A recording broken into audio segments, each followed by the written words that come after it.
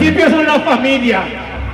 Y claro, a mí me toca hacerle caso a mi vieja, yo no sé cómo será en su casa. Perdona el vocabulario, mamá. Papá.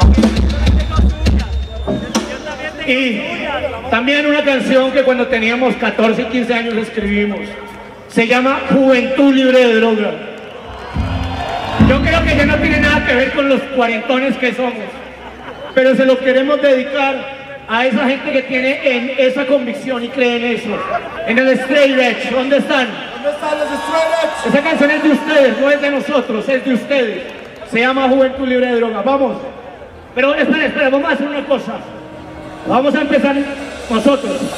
¡No hay justificación! ¡Mata la estabilización! ¡No hay justificación!